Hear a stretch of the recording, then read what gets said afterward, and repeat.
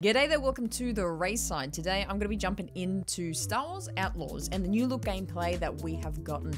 This game is shaping up to look really, really exciting and I'm going to be giving you my review of what we have so far. So let's get into it.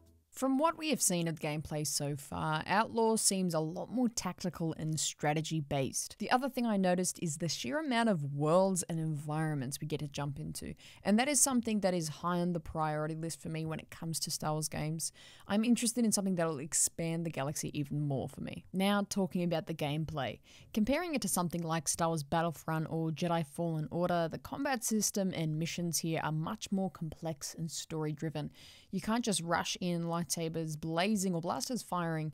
Instead, you need to be more calculated and smart about your attacks. What I also noticed from what we've seen is there's a lot less puzzle like challenges that we saw in, say, Fallen Order and Survivor, while the challenges in these games focus more on the moving parts from A to B, which I enjoy, but I will also be very happy never to go to Zeffo again. what am I damn doing here? I don't want to be fighting you all. Outlaws looks to be more about knowing the syndicates, understanding your enemies, and figuring out the best way to defeat them using a variety of abilities. So, no more button mashing, which I am definitely guilty of. Instead, you really have to rely on Kay's abilities and strategy and stealth to get through the missions, which I find really fascinating. And I think that's something a lot of people can get really into deeply as the game goes on. Our main character, Kay Vess, seems really interesting from what we've seen of her so far. Living that bounty hunter life through her eyes is gonna be really exciting, and I'm really excited to play as her, as well as we, we you just can't go past mentioning ND5, the commando droid.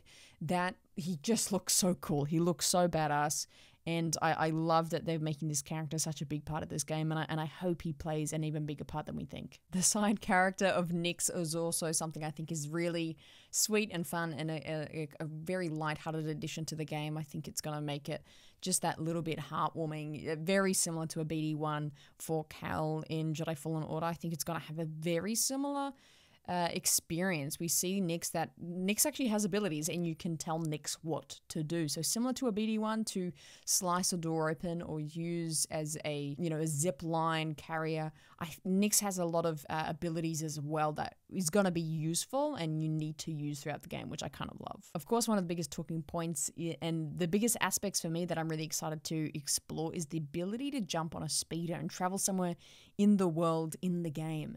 This is something we've all been craving in Star Wars games for ages.